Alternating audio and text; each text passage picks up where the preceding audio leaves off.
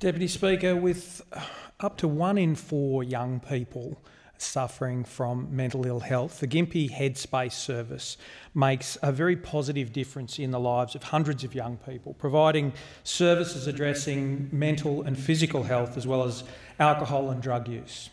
This is a fantastic, welcoming facility that also provides social and vocational advice in a safe, supportive, and comfortable environment. It offers the right support to help youth navigate the challenges thrown at them. Uh, but the time has come for the Gympie Headspace to be expanded to a stand-alone service. Gympie Headspace is contracted to deliver 100 appointments per month, but last year demand for the service jumped.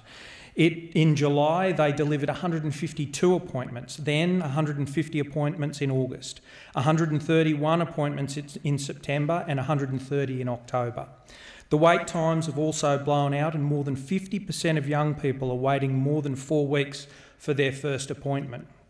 Gympie Headspace is funded at one third the cost of other Headspace centres, and it's time it was expanded to a full service to meet community needs so young people can get the help they need, but critically, when they need it.